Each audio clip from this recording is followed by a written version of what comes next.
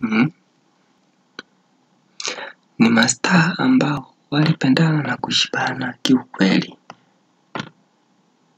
Mfanye mpenzi wako afurahie penzi lako na akaliona sio Edeni bali ni Adani. Hmm? Mapenzi kama haya ni matamu sana hakika.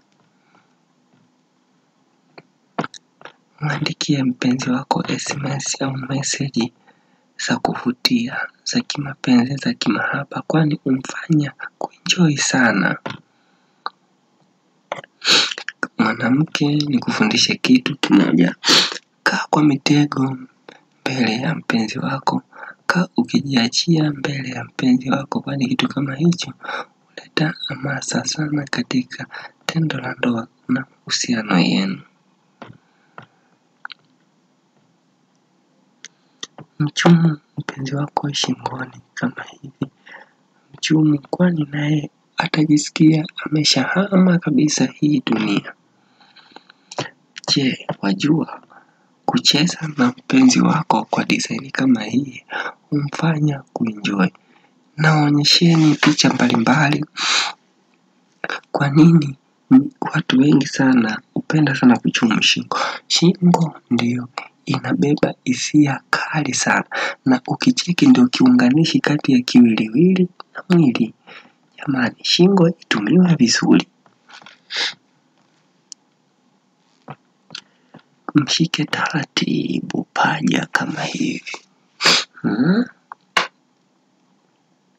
Mshike taratibu kama hivi mpenzi wako, kwani kitu hiki huleta sana anani. Cheka naye. Vitu kama hivi unapokuwa unafanya kwa mpenzi wako, ukicheka naye, ukiimba naye, huleta raha sana hmm? Watu wengi hawajui kuwa paja lina siri gani. Paja lina siri moja kubwa sana nzito ya mwanamke. Usilishike paja kama umeshika mnyororo, shika paja kama umeshika mrenda au yai. Taratibu, ukiwa unapeleka mkono juu kwenye kuma, kwenye K, mtoto wa kike huenjoy sana na kufurahia mambo yake. Jamani, kwani kitumbua kinapokutana na vitu vingine hujisikia raha. Tafadhali tukuombe ndugu, hmm? Usisahau kusubscribe, kulike na kucomment ili kuweza kuwa mmoja wetu wa vitu kama hivyo. Tutakufunza vitu mbalimbali, mbali, vitu vingi sana ili uweze kujijuza vitu kama hivi. Amina.